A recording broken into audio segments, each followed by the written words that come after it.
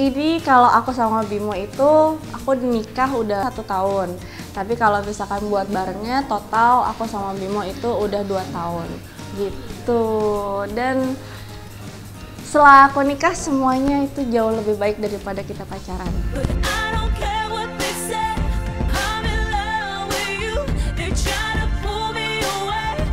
Aduh, kalau masalah ngomongannya sebenarnya kalau aku nggak ada masalah. Kalau sejauh ini ya sekarang kita serahin aja sama Tuhan. Kalau emang udah waktunya dikasih, ya dikasih. Pokoknya kan rencana Tuhan nggak ada yang tahu karena Tuhan lebih tahu kan eh, gunanya atau apa sih kayak kebutuhan kita tuh Tuhan lebih tahu. Jadi di saat kita mau, tapi kalau Tuhan belum kasih ya ya mau diapain. Jadi sekarang kita serahin aja semua sama Tuhan. Yang penting mah manusia berusaha aja, bikin aja terus, bikin aja terus. Gitu. Try